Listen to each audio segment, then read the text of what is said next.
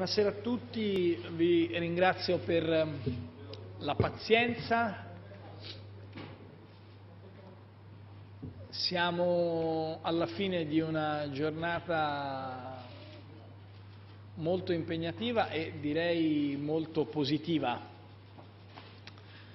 Oggi si sono svolti non soltanto alcuni appuntamenti istituzionali di rilievo, tutti ovviamente la visita del vicepresidente degli Stati Uniti d'America Joe Biden, ma abbiamo avuto modo anche di intervenire su alcune eh, tra le principali questioni che da tempo oh, vi sono, sono, alla vostra attenzione. Eh, nella giornata di oggi si è svolto il CISR, queste, lunghe, queste complicate sigle stiamo parlando dell'organismo al quale partecipa peraltro lo stesso Ministro dell'Economia e delle Finanze, oltre ad altri colleghi ministri, eh, direi interno, giustizia, eh, difesa, esteri, oltre al sottoscritto e al Ministro dell'Economia e delle Finanze, per la nomina dei dirigenti, dei vertici delle strutture dell'intelligence, dei servizi segreti. Eh, nelle settimane scorse ho letto una ridda di nomi che francamente non, avevano, non trovavano riscontro, come se io dovessi mettere qualche amico a capo dei servizi in un paese civile, in un paese normale, quando si tratta di fare le nomine degli alti vertici istituzionali, si scelgono le personalità che guidano o hanno comunque una comprovata esperienza nei settori di polizia, di intelligence, militari e di conseguenza abbiamo individuato, eh, ci siamo dati innanzitutto un metodo, che è quello di fare le nomine tutte insieme, abbiamo scelto di fare le nomine per solo due anni, perché nell'aprile del 2018 comunque ci sarà un altro governo dopo le elezioni del febbraio del 2018 e noi siamo persone serie, vogliamo che chi arriverà dopo di noi possa avere lo spazio di nomina che giustamente la legge prevede, poi siamo dell'idea che, che, che vinceremo le elezioni e ci torneremo noi, ma questo non lo possiamo sapere e quindi l'aspetto istituzionale di correttezza ha portato a fare nomine biennali e ha individuato eh, nella, eh, per la abbiamo, ci siamo dati come regola, questa è una cosa importante, in questo passaggio di nomine di non dare delle proroghe. Questo significa che vi è stato un ricambio di tutte le figure apicali che andavano a scadenza. Per queste ragioni vorrei ringraziare tutti gli uscenti e alla guida del DIS in questi quattro anni ha lavorato l'ambasciatore Massolo, un servitore eh, dello Stato e delle istituzioni in cui va la mia, nostra, non soltanto del Ministro Padoan, ma di tutto il Governo, gratitudine il suo posto sarà preso dall'attuale capo della polizia, prefetto Pansa.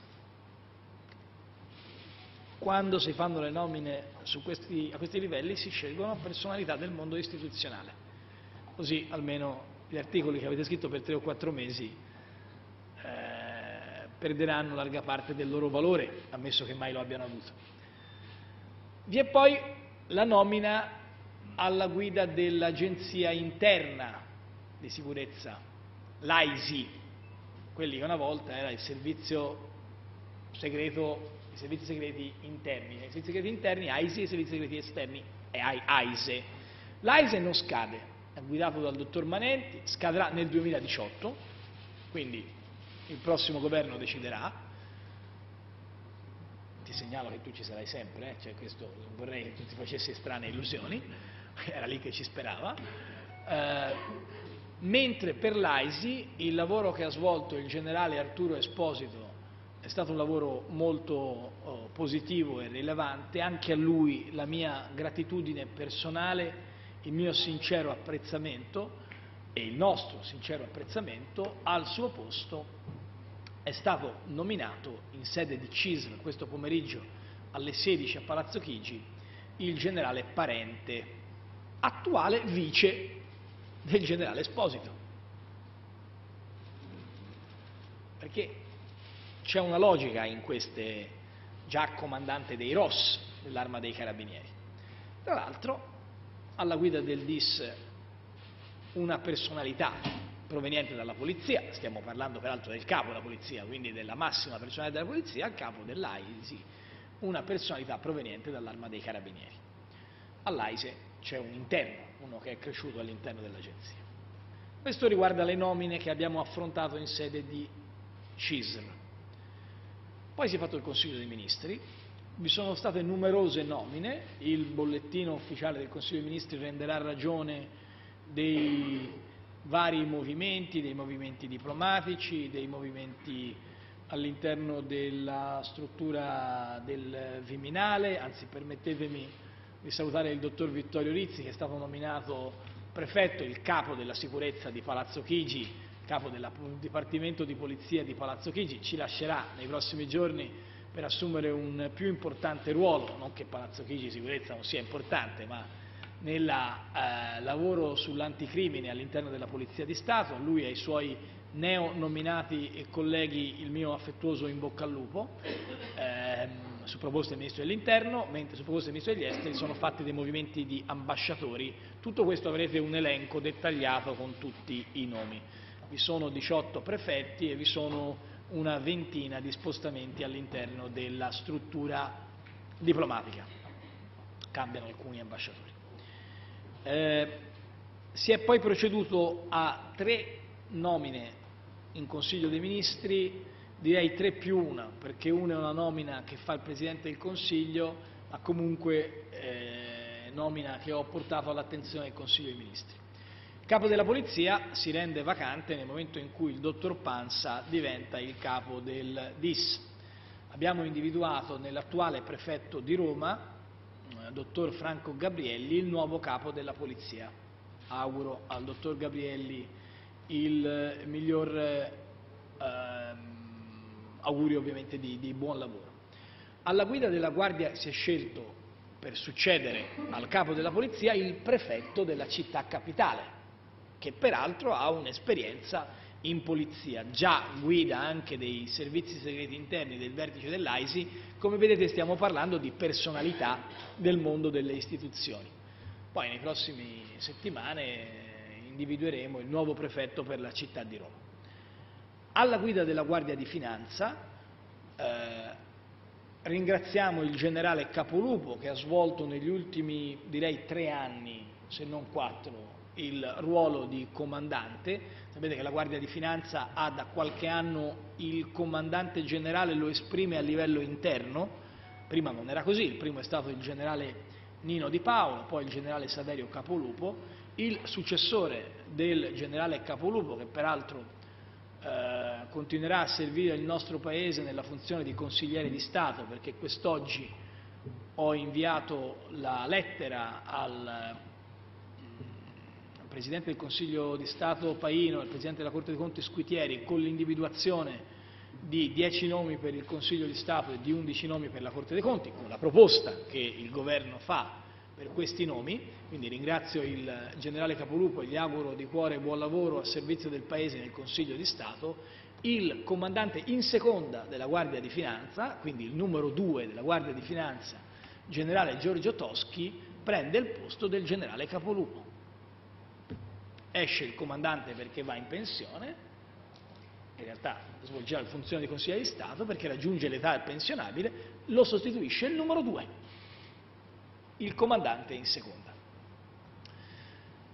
Alla guida della Marina Militare, terza nomina, su proposta del Ministro Pinotti abbiamo individuato l'attuale, ringraziamo l'ammiraglio Gabriele De Giorgi che ha svolto un lavoro eh, straordinario questi anni, nessun tipo di polemica o valutazione, che naturalmente noi rispettiamo, può togliere qualcosa alla straordinaria eh, carriera dell'ammiraglio De Giorgi, cui va la gratitudine non soltanto per le operazioni degli ultimi mesi in Mediterraneo, ma per il eh, servizio che egli ha reso al Paese in questi anni, anche a lui la mia eh, personale gratitudine e quella di tutto il Consiglio dei Ministri, eh, prende il suo posto eh, l'ammiraglio Walter Girardelli, attuale capo di gabinetto del Ministro della Difesa. Questo per dire come quando si tratta di fare delle nomine noi abbiamo il desiderio di valorizzare le figure istituzionali. È accaduto qualcosa di nuovo. Con un governo che è stabile, noi siamo già il sesto governo su 63 come longevità nella storia italiana, quindi uno dei più stabili, il sesto più stabile su 63, questo la dice lunga sulla... e siamo appena arrivati, ancora non ci siamo neanche abituati, non abbiamo preso ancora le misure. Eh, questo la dice lunga sul fatto che in passato cambiavano i governi e en passant qualcuno faceva le nomine quelli che toccavano in quel momento. Noi abbiamo scelto un metodo di lavoro in cui la politica rivendica orgogliosamente la necessità di fare le nomine come è doveroso che sia e contestualmente e contemporaneamente le fa con un criterio di trasparenza totale. Perché come avete visto si tratta di nomine totalmente istituzionali non ci sono cordate o cordelline varie, c'è un meccanismo per cui esce il capo, ci va il vice, eh, ai servizi ci va il capo della polizia e tutto quello che avete sentito, non vorrei replicarlo. Vorrei anche segnalare che, come credo da buona norma, ho chiesto all'autorità delegata ai servizi, eh, l'onorevole senatore Marco Minniti, che prezioso eh, punto di riferimento istituzionale per tutti e prezioso collaboratore per me punto di riferimento anche in tante di queste eh, questioni, di comunicare prima delle nomine alle opposizioni le nomine fatte. Non ho chiamato io eh, i singoli perché non, non mi sembrava opportuno, ho chiesto all'autorità delegata di informare preventivamente, prima del CISR e prima del Consiglio dei Ministri, una volta che si era verificato il, il, i nomi, eh, i senatori e i deputati che fanno da punto di riferimento dentro le strutture. Credo che il eh, senatore Minniti abbia provveduto, nei limiti ovviamente del possibile, alcuni partiti, prima si chiamavano i segretari dei partiti, ora la situazione è un pochino più destrutturata, per cui sono stati chiamati dal senatore Minniti però i singoli interlocutori. Ho chiuso le nomine dicendo che ce n'era un'altra, alla quale ovviamente tengo molto, che è il consigliere eh, militare di Palazzo Chigi, Sapete che da qualche, anno, da qualche mese il generale Magrassi ha lasciato il suo incarico, Colonnello Puri ha svolto egregiamente le funzioni di vicario e mi auguro possa continuare a farlo. Eh, il eh, nuovo consigliere militare è il generale dell'esercito Masiello, che ha molte esperienze internazionali e non solo, stretto collaboratore del capo di Stato Maggiore della Difesa eh, generale Graziano. Quindi come vedete si tratta di scelte di grande eh, livello.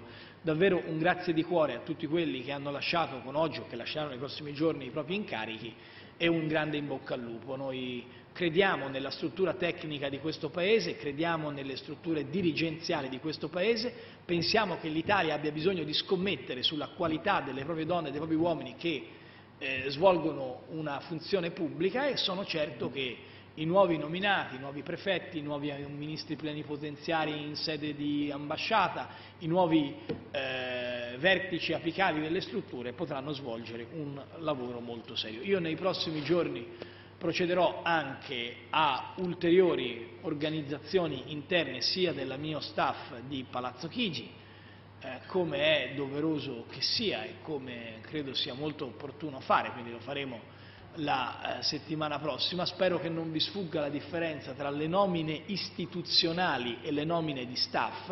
Le nomine istituzionali sono nomine che afferiscono alle professionalità eh, presenti nella pubblica amministrazione, i nomini di staff sono collaboratori del Presidente del Consiglio pro tempore che come tale svolgono un servizio importante, un ruolo significativo, ma che poi nel momento in cui il Presidente del Consiglio se ne va lasciano, perché non sono delle persone che lavorano con tutti, lavorano con la squadra di governo. Succede così in tutto il mondo e soltanto da noi vi è una potenziale confusione tra questi due ruoli, ma ci tenevo a dirlo perché almeno ci siamo chiariti definitivamente. Spero che anche ai più accesi e accaniti sostenitori eh, della eh, sovrapposizione di questi ruoli sia finalmente chiaro che vi è una netta differenza tra i ruoli istituzionali e i ruoli di supporto alla Presidenza del Consiglio, per i quali peraltro eh, sono molto fiero di poter contare sull'aiuto di grandissimi professionisti eh, che già ci sono ed altri che staranno arrivando. Mi sembra di aver detto tutto delle nomine, avendo parlato circa 47 minuti soltanto delle nomine, penso di aver eh, espresso con molta chiarezza la posizione.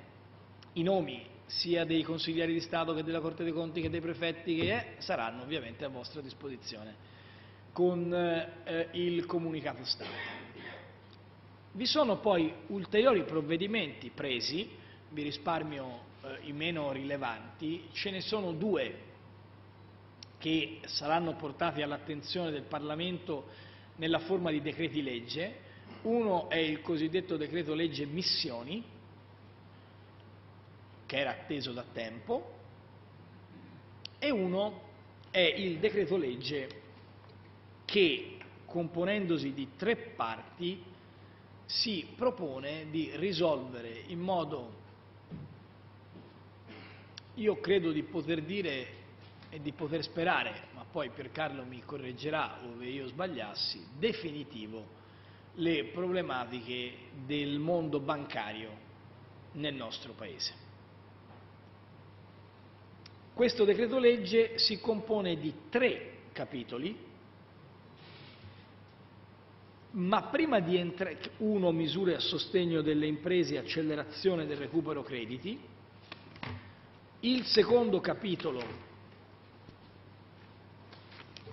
ve lo leggo così non sbaglio, le misure in favore degli investitori di banche in liquidazione, è la questione dei rimborsi delle cosiddette banchette, delle quattro banche oggetto del eh, provvedimento di novembre.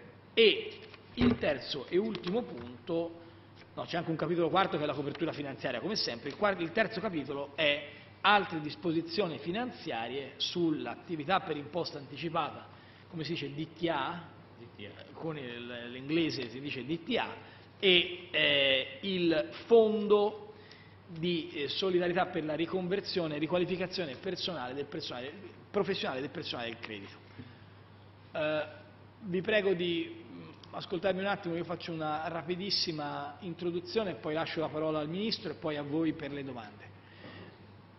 Noi ci siamo trovati in una, vorrei proprio rivolgermi in modo più semplice possibile perché se lo capisco io significa che lo capiscono tutti. Eh, noi ci siamo trovati in una situazione in cui i governi precedenti, secondo me sbagliando, ma ormai è un dato di fatto, non sono intervenuti sul sistema delle banche. Mentre in tutti gli altri paesi europei si interveniva, e come se si interveniva, la Merkel ci ha messo 247 miliardi di euro, noi abbiamo scelto di non intervenire. Si è fatto un piccolo intervento sui cosiddetti eh, Tremonti Bonds che poi hanno portato più soldi in cassa perché eh, quindi non sono una spesa alla fine, non sono stati una spesa, ma non si è toccato niente. Cosa ha fatto questo governo? E la mia gratitudine va al eh, Ministro Padoan e a tutti i suoi collaboratori e naturalmente agli altri Ministri e membri del Governo.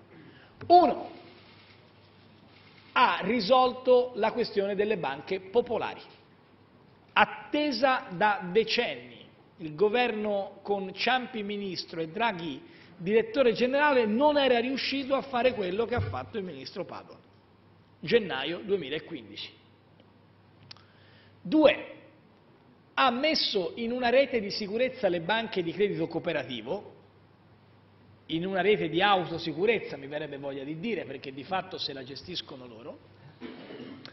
Terzo punto, si è trovato costretto a, con le nuove regole europee ad affrontare la crisi di alcuni istituti di credito. La famigerata vicenda che riguarda Banca Ferrara, Banca Etruria, Banca Chieti e Banca Marchi. Questa vicenda è stata volutamente e strumentalmente raccontata in modo diverso dalla realtà. Noi siamo intervenuti salvando i correntisti che altrimenti sarebbero andati a gambe all'aria.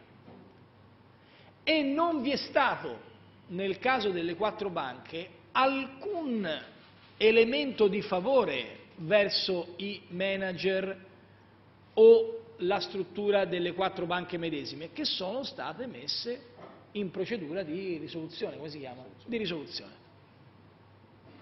Cioè, per essere chiari, i cittadini hanno salvato i propri soldi e siamo, come avete visto, ai procedimenti di eh, sanzioni nei confronti dei manager di queste banche e di commissariamenti vi sono stati. La verità, al netto della propaganda che è stata utilizzata su questa vicenda, è che il nostro atteggiamento è stato molto rigoroso e serio. Mi verrebbe voglia di dire che forse lo stesso atteggiamento serio e rigoroso avrebbero dovuto avere altre banche, anche di quelle non risoluzione.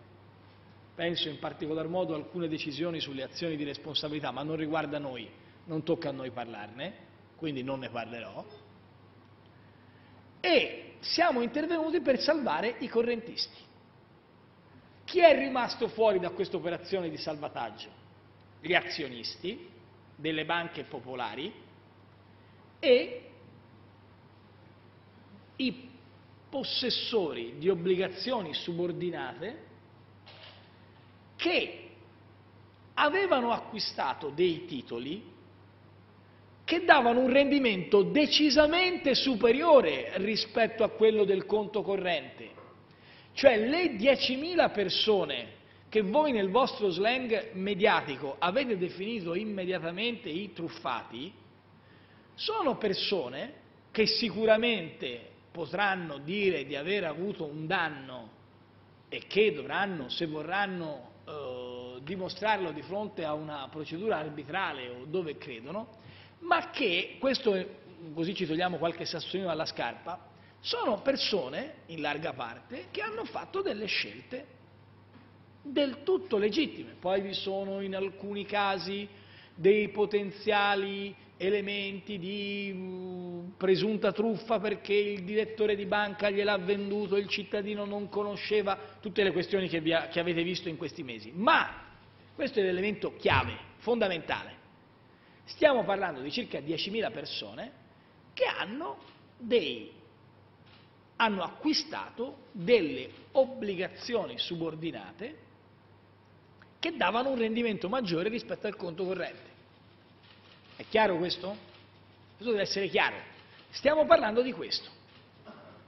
Che cosa abbiamo fatto noi nel capo 2 di questo decreto legge? Grazie all'autorevolezza del ministro Paduan, all'ottimo lavoro dell'ambasciatore Calenda e di tutto il team che ha lavorato, nessuno escluso, abbiamo ottenuto che vi possa essere un rimborso forfettario fino all'80% fino all'80% per, senza bisogno di arbitrato vanno e prendono assegno per, perché ricorra una delle due condizioni che adesso vi dico. Uno, se hanno un ammontare del reddito lordo molto basso, cioè se sono in difficoltà. Se hanno un ammontare del reddito lordo dell'investitore ai fini dell'IRPEF nel 2015 inferiore a 35.000 euro, quindi se non stanno bene, il truffato che sta sull'astrico, se ha meno di 35.000 euro, quindi un impiegato, eh, può direttamente andare e chiedere fino all'80% e glielo danno sull'unghia, a condizione naturalmente che stia dentro queste caratteristiche. Oppure che abbia un patrimonio mobiliare di proprietà dell'investitore di valore inferiore a 100.000 euro, anche se ha più di 35.000 euro. Io ho questi 40.000 euro che avevo messo con l'obbligazione subordinata, vado, questo non viene pagato dal contribuente ma dal fondo delle banche, quindi i cittadini, gli altri cittadini che dicono eh però loro allora prendono, no, il cittadino non spende una lira, sono il fondo di, bancario che paga, quindi non sono i soldi di tasse, non sono soldi del contribuente, sono soldi del ehm, fondo bancario, ma questa è una novità enorme. Ecco perché abbiamo aspettato. Ah, Renzi e Padon vogliono, si prendono gioco. Stavamo lavorando per trovare una soluzione, una buona notizia per queste persone. Al netto degli slogan, al netto delle polemiche, al netto delle strumentalizzazioni, abbiamo fatto un grande servizio per chi si trova in queste condizioni.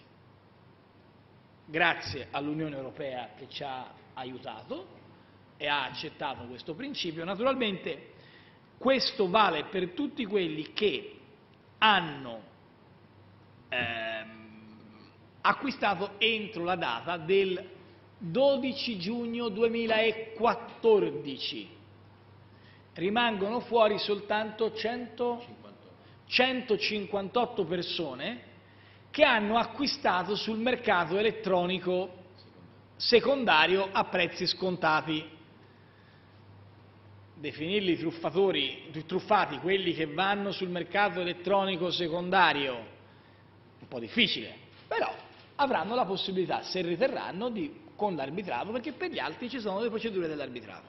È chiaro questo concetto? Sono stato un po' noioso, ma il primo punto è che togliamo dal campo una grande questione che ha attraversato gli ultimi quattro mesi. E togliendo questa questione ci possiamo togliere anche qualche sassolino dalla scarpa. Questo governo è il governo che ha non soltanto fatto rispettare le regole a tutti, senza guardare in faccia a nessuno, ma che ha fatto un lavoro per i propri cittadini per dare un messaggio di serenità sulla questione dei rimborsi bancari, per dare anche un messaggio di tranquillità a chi mette i depositi in banca, che francamente era probabilmente inimmaginabile fino a tre o quattro mesi fa. Secondo e terzo punto, e poi lascio a Padoan il compito di, di, di entrare nel merito, vi sono delle misure per ridurre i tempi non per le persone fisiche, ma per le persone giuridiche. Mi spiego. Vi ricordate la polemica? Ah, ma adesso se per sei mesi non paghi la casa te la porto in via. Questa vicenda di cui stiamo parlando, che riguarda i non performing loans, cioè per i crediti deteriorati, incagliati o deteriorati da parte delle banche, è un grande problema. Perché? Perché a noi ci, ci, ci scontano troppo la questione dei non performing loans, non soltanto per perché il sistema italiano per arrivare a eh, chiudere la procedura diciamo, fallimentare, utilizziamo un termine ampio, ci mette molti anni in più di, di, degli altri paesi.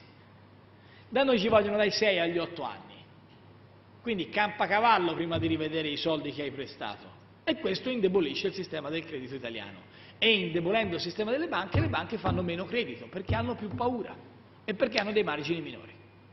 Cosa abbiamo messo noi? Al cittadino che ha la prima, la seconda, la terza, la settima casa non cambia niente. Persone fisiche sono fuori, ok? Hanno già la regola di cui alla precedente direttiva, 18 mesi, quella roba lì. Al cittadino, persona, alla persona giuridica, abbiamo messo la possibilità, firmando con le banche, cioè non, non è automatico, è per chi firma con le banche, di avere dei tempi tecnici che passano da 6-8 anni a 6-8 mesi. Questa è una grandissima novità, è evidente che è una possibilità concessa alle banche di avere certezza, nel senso che se tu dopo sei mesi non paghi il singolo intervento, la banca può intervenire, e questo è un elemento di novità, oggi ci mette sei anni perché deve fare il tribunale e dintorni, ma questo vale se l'azienda firma quindi se l'azienda ritiene di dover fare questo passaggio e quindi evidentemente otterrà delle condizioni migliori e contemporaneamente questo avviene dando uno strumento in più alle aziende, vale a dire il pegno mobiliare non possessorio, cioè sostanzialmente potendo permettere di eh, costituire pegno non possessorio per garantire i crediti non soltanto dall'immobile, il capannoncino, ma anche dai macchinari o dalle scorte. Possono dire le mie scorte valgono tot, costituisco pegno sulle tue scorte non soltanto sul tuo capannone. Cioè noi cerchiamo di smuovere l'economia. Ci sono poi una serie di misure ulteriori che riguardano le forme telematiche. L'adunanza dei creditori, anziché metterci tre mesi perché bisogna chiamare tutti, si fa con un clic. Questo riduce i tempi. Ecco perché vi dico che c'è una grande novità da 6-8 anni a 6-8 mesi. L'ultima misura, oltre ai DTA, riguarda il fatto che siccome ci sono troppi, ahimè, eh, problemi in alcune banche di eccesso di personale perché sempre di più le banche si usa l'home banking, perché le fusioni porteranno a ridurre il numero delle persone che lavorano in banca, c'è un ulteriore scivolo se le banche pagano, anziché avere dai tre anni ai cinque non mi ricordo com'è la misura, ma comunque da quanto? Sette. Quindi da tre a sette anni, purché le banche paghino, si dà uno scivolo, si aumenta, si permette di andare eh, via prima dandogli più soldi ovviamente al lavoratore. Quindi chi vuol fare l'accordo è un bellissima, una bellissima misura questa. Cosa mi sono dimenticato? Nulla. E dai, Hai fare... tutto, eh. E che mi fai interrogare? No, assolutamente. Ah, questo però è una gran cosa. Eh, No, non la mia, il fatto che ci sia questa misura è passare da 6-8 cambiato, anni è a 6 cambiato il regime. Domande per Paolo, prego. Buonasera, Bonini del News 24. Eh, noi in queste ore aspettavamo che il eh, decreto sui rimborsi scattasse da quella data del 13 agosto eh, dell'anno scorso, cioè quando entrava in funzione la famosa direttiva sul burden sharing. Il perché della data del giugno e alla fine quanto sarà il fondo? Si è parlato di 100 milioni di euro nei eh, mesi scorsi, queste misure in totale su quanto conteranno? Dunque, innanzitutto la data è stata, come diceva il Presidente del Consiglio, la data, eh, lei ha citato una data che girava, tra tante cose che sono girate, eh, che non era la data giusta. Sì, sì, è una, è una che girava. La data che eh, vale nel caso del decreto è quello che ha ripetuto il Presidente del Consiglio e che coincide con la data di pubblicazione sulla Gazzetta Ufficiale della Commissione del decreto BRRD, quindi è stata scelta per quella ragione lì. Poi lei mi fa una domanda a cui è difficile rispondere, non che non voglio rispondere, ma che è difficile rispondere, cioè l'ammontare. L'ammontare dipenderà dalla eh, effettiva eh, implementazione non solo di chi chiede il rimborso automatico e lì si possono fare già dei conti, ma degli esiti dei processi arbitrali, perché il processo arbitrale richiede che venga valutato e che quindi poi si decida, tra l'altro, se ci sono condizioni che, eh, eh, scusate sul termine inglese, si chiama mis-selling, vale a dire il fatto che qualcuno abbia acquistato in condizioni di poca trasparenza sul profilo di rischio una- un asset, in questo caso i subordinati. Quindi dipende da come andranno quelli. Posso semplicemente dire che le risorse per coprire sia i rimborsi automatici sia gli esiti degli arbitrati non saranno, non saranno razionate, quindi non c'è il rischio, dice, arriva qualcuno prima di me, si prende i soldi e non è rimasto più niente. Questo problema non si porrà.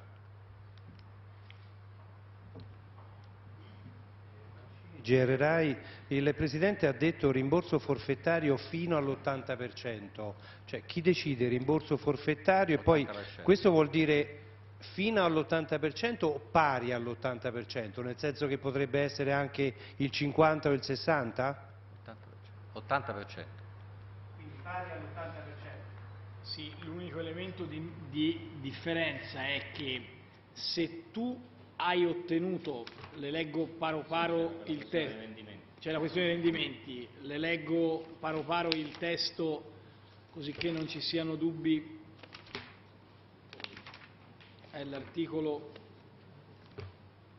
voi sapete che non possiamo darlo finché non abbiamo dato al Parlamento, però Eh, L'importo dell'indennizzo, siamo al comma 3 dell'articolo 9. Sì, sì, quello qui, perfetto.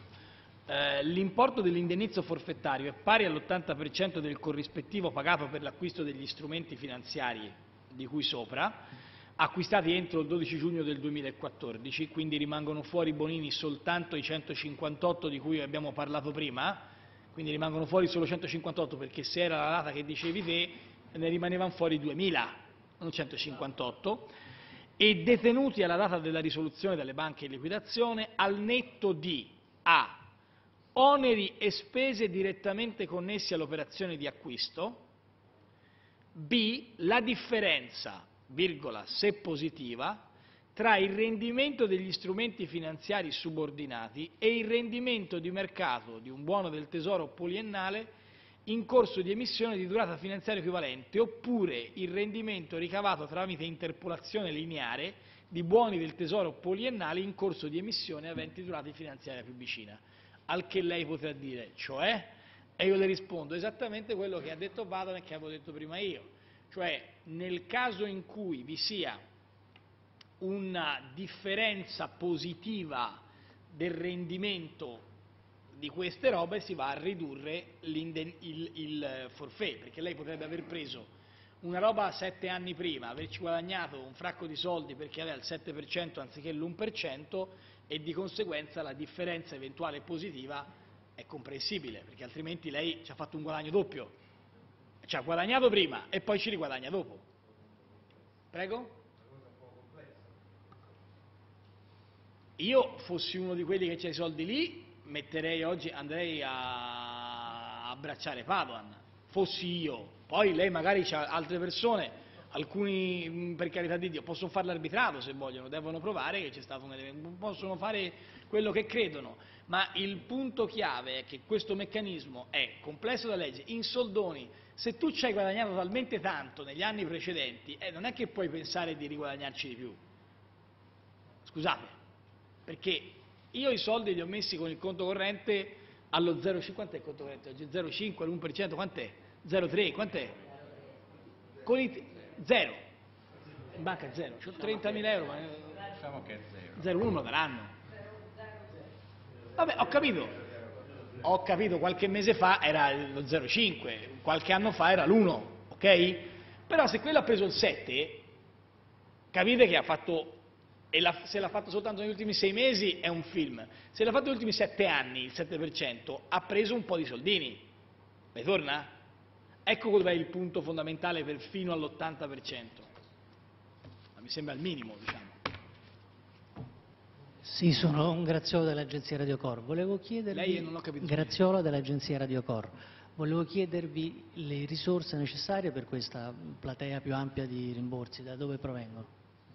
Le- in legge di stabilità avevamo già introdotto una norma che istituiva tra l'altro un fondo che aveva un tetto. Eh, come, di- come ho detto prima, le risorse non saranno tali da razionare chi ha diritto sia al rimborso automatico sia nel caso di esito positivo all'arbitrato. Quindi se- il problema è eh, se ci saranno soldi per tutti quelli che ne hanno diritto in base alle norme, la risposta è sì, vorrei metterla in positivo la questione. Roberto Talle- Guardi, Sono- io già non sen- ah, l'hai sentito? Bravo. Sì, questo l'ha già detto il Presidente del Consiglio, sono soldi che vengono dal sistema bancario, che finanzia questa operazione di rimborso sia via arbitrato che rimborso diretto. Posso fare un secondo Renzi? Non c'è un centesimo speso dai cittadini per questa cosa. Non c'è nessun truffato che non riprende tutti i suoi soldi e non c'è nessuno che possa dire che non vi sia stata la massima attenzione da parte del governo. Poi fuori da qui c'è il campionato mondiale degli slogan e il campionato mondiale della demagogia, i poveri. Noi abbiamo messo a disposizione tutto ciò che serve con una straordinaria collaborazione con l'Unione Europea e finalmente possiamo dirlo dopo che per mesi siamo stati costretti a leggere l'illeggibile e a sentire l'inascoltabile. Prego. Da lei Sky TG24, avete una stima di quanti dei 10.500 risparmiatori eccetera ricadono in una delle due condizioni? Le stime ci sono, ma sono stime che devono essere verificate.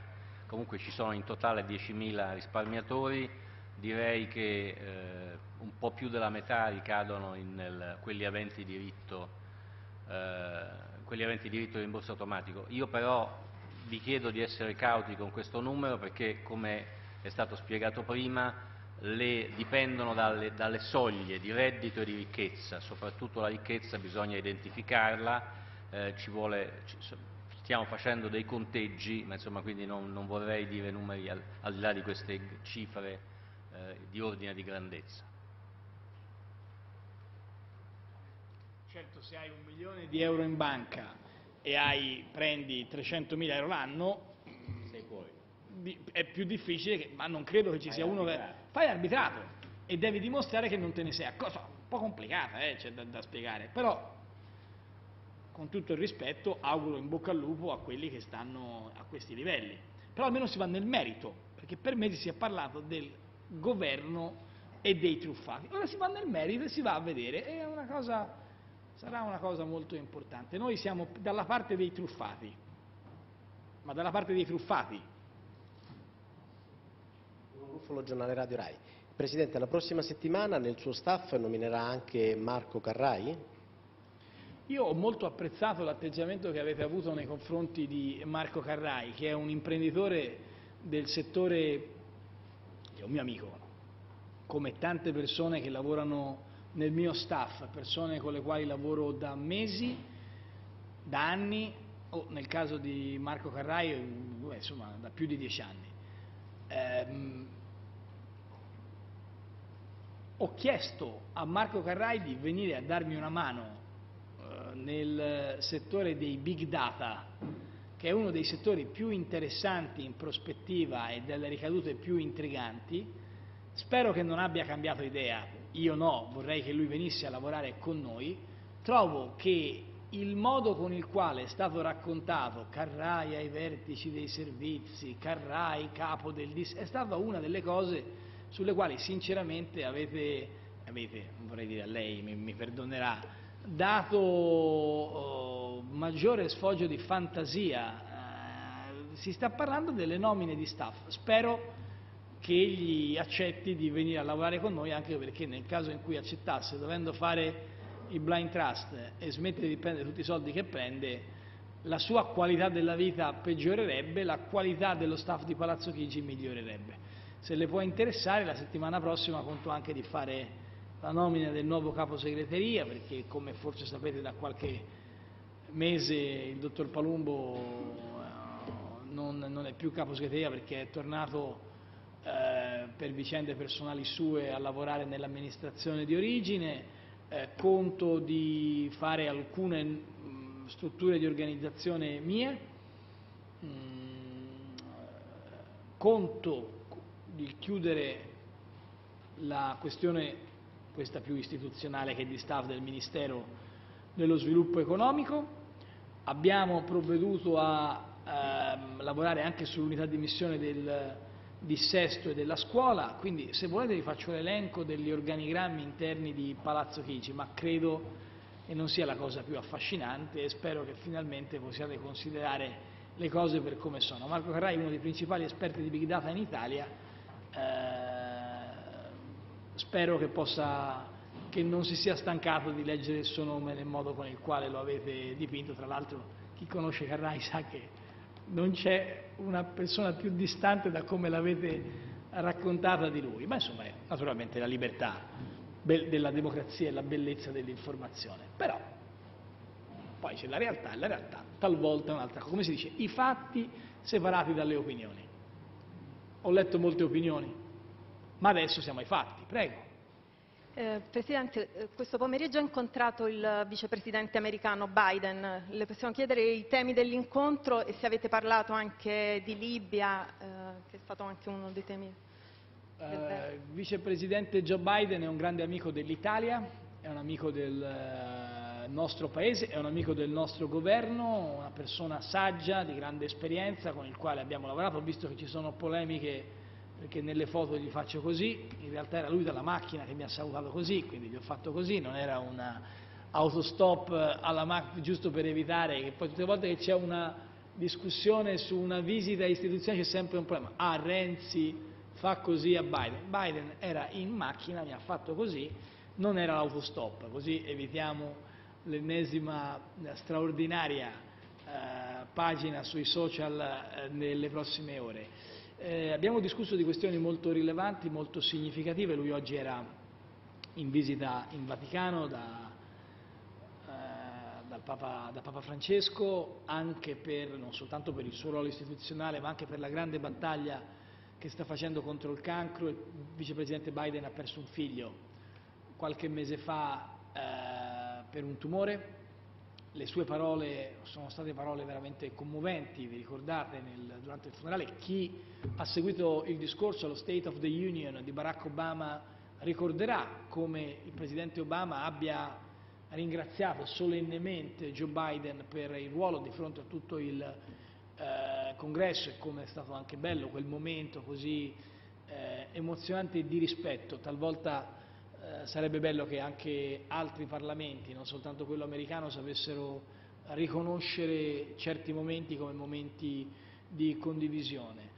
Eh, abbiamo discusso delle principali questioni aperte, Joe Biden veniva dall'Iraq, quindi abbiamo discusso della diga di Mosul, della situazione del governo di Al-Abadi, abbiamo discusso di Siria, dei passi in avanti della tregua, abbiamo discusso di Afghanistan, l'Italia ha eh, preso il posto anche degli spagnoli, quindi ha una presenza maggiore, come sapete dal, anche dal decreto missioni, abbiamo discusso di Libia, degli sforzi necessari a sostenere il governo al-Serraj, abbiamo discusso di Ucraina, c'è una sensibilità molto forte di Biden che da senatore del Delaware si è molto occupato di Nato e di Europa in passato, eh, abbiamo uno scuso quindi di Ucraina, di Russia, del vertice NATO che si terrà a Varsavia, pensate che il vertice NATO si terrà proprio nella stanza dove si firmò il patto di Varsavia. Allora, segno evidente che il mondo sta cambiando, la foto di gruppo il 7-8 luglio prossimo sarà eh, proprio in questo palazzo a Varsavia, abbiamo discusso della situazione economica perché anche se domani non avrà i titoli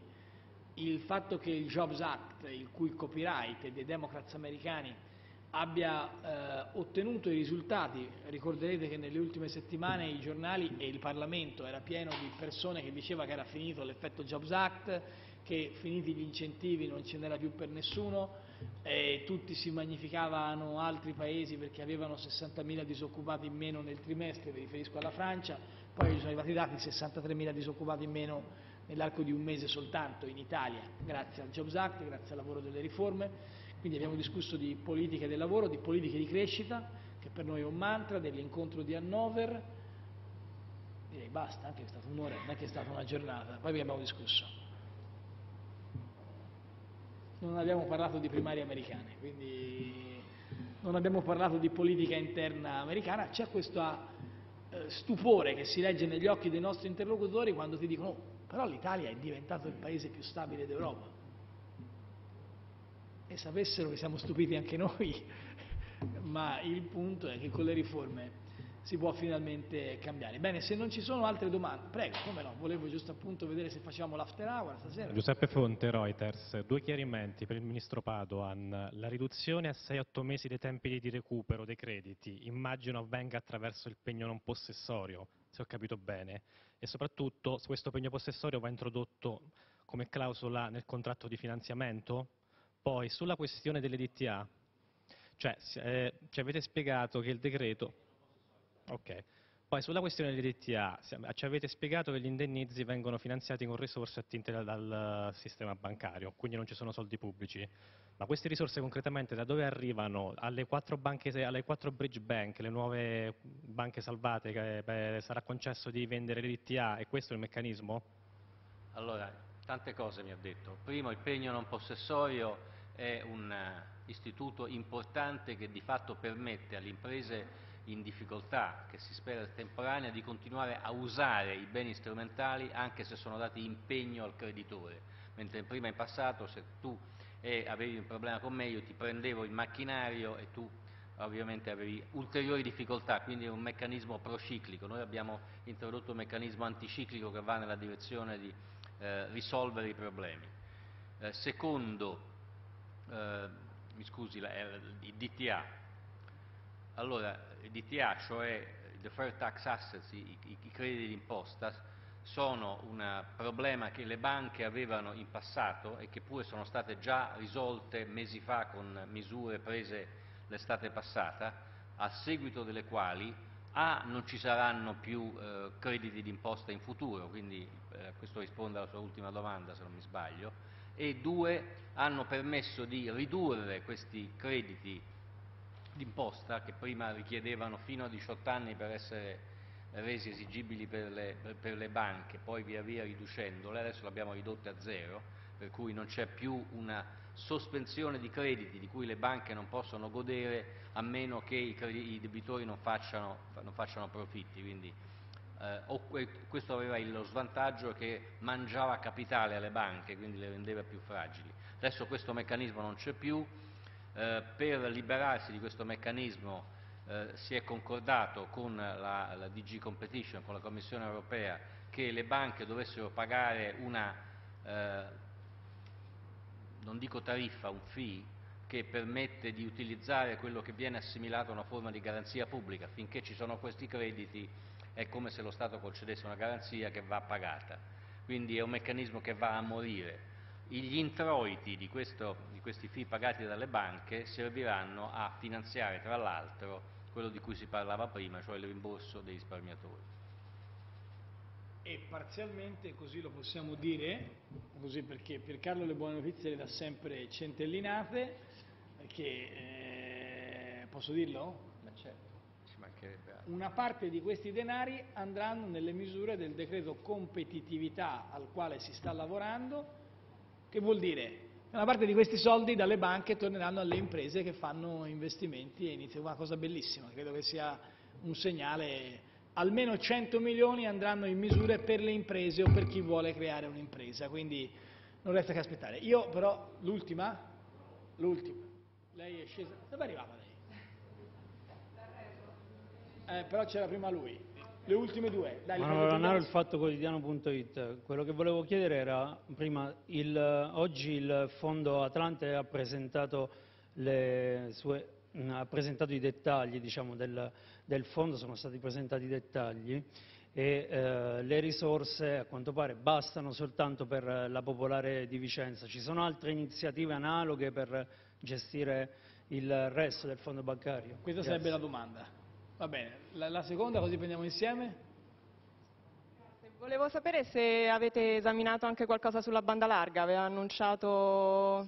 Allora, rapidissimo, eh, la parte banda larga noi abbiamo dato il via libera ufficiale ai primi bandi, come d'accordo e come comunicato quest'oggi nel corso di un collegamento, perché non sono stato fisicamente a Pisa, ma nel corso di un collegamento, partono i primi bandi, la vera scommessa sulla quale metterò tutta la mia pressione spero che poi il nuovo Ministro quando arriverà possa lavorarci insieme e il Commissario per l'Italia Digitale che sarà ehm, il Dottor Piacentini, come sappiamo a partire dal 17 di agosto, la vera scommessa però non è quando è il primo bando, ma quando sarà l'ultimo.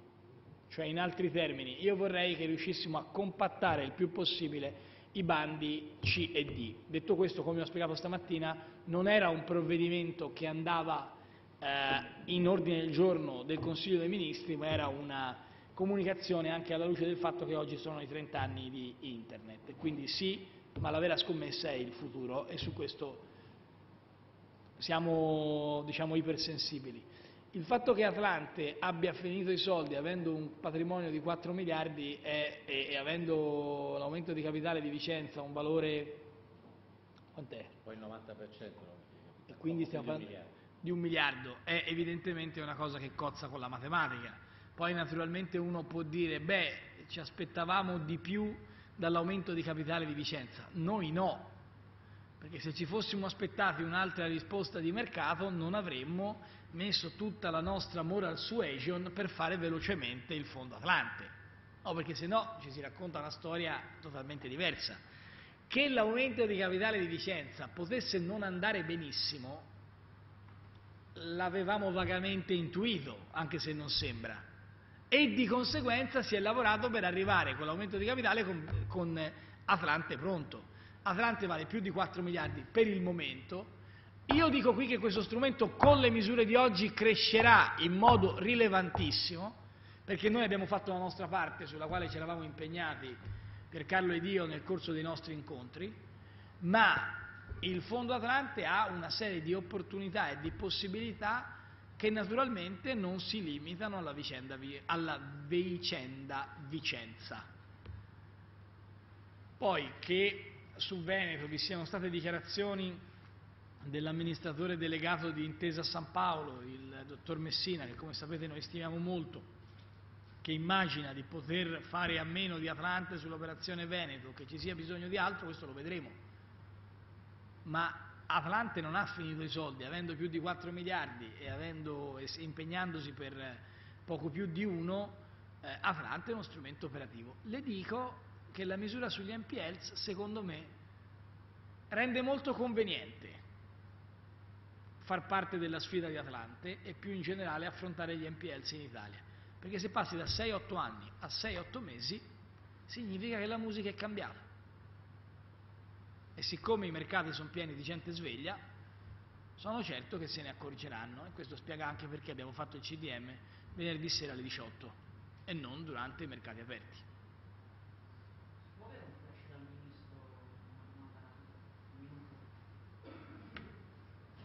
Eh, Monticelli della Dire, eh, volevo sapere per il pegno non, non, possessorio se si può usare come garanzia anche su quote della, delle società e sugli indennizi una precisazione, non ho capito quanti sono gli obbligazionisti se, ehm, subordinati che restano, che dovranno accedere alla procedura di, ehm, con l'ANAC di eh, arbitrato. Il primo, il pegno non possessorio ha a che fare con capitale che in teoria è di proprietà dell'impresa, quindi non è che è una garanzia aggiuntiva. Il pegno non possessorio ha, a che fare con l'utilizzo materiale, diciamo così, di un tornio che altrimenti verrebbe sequestrato dalla banca, che peraltro non saprebbe cosa farne, e toglierebbe capacità produttiva all'impresa. In questo modo si riequilibra la situazione patrimoniale tra il creditore e il debitore, ma si lascia intatta la capacità imprenditoriale dell'impresa. Eh, come tenuto conto delle soglie di reddito, di ricchezza e della data di cut-off, le persone, come l'ha detto prima il Presidente del Consiglio, che sono escluse e che quindi hanno solo la possibilità, che non è poca, di avere l'arbitrato, sono 158. Vi ringraziamo moltissimo, vi ricordo nostra, eh, il nostro fine settimana, con Padoan ci siamo fidanzati in casa, quindi domenica alle 12 il CIPE per festeggiare il primo maggio, 2 miliardi e mezzo su e ricerca, un miliardo, chiedo scusa, 2 miliardi e mezzo su ricerca, un miliardo su cultura, 3 miliardi e mezzo totali. Eh, nella giornata di domani, eh, purtroppo Padova mi lascia, ma poi ci ritroviamo velocemente, alle 10.30 domani o alle 11 a Reggio Calabria, alle 12.30 a Catania, 10.30 inaugurazione del museo nazionale che ospita i bronzi di Riace, a firma del patto per la Calabria con il Presidente Oliviero, firma del patto ehm, per Reggio Calabria con il Sindaco Falco Matà, 12.30 Catania, firma del patto per Catania con il Sindaco Bianco, eh, riapertura ufficiale della strada a quattro corsie, omaggio, e domani lo posso dire, alla memoria di eh, Pio La Torre, perché il 30 aprile e credo che sia sacrosanto che andiamo a mettere un fiore ehm, alla memoria di Pio La Torre, poi Palermo alle 15.30 e poi semplice, insomma, quindi una cosa molto semplice e tranquilla. E poi ci rivediamo lunedì dove alle 9.30 facciamo il Teatro Niccolini, alle 11.30 il Primo Ministro Abe e poi Matera e Patto per la Basilicata. Buon lavoro a tutti, grazie.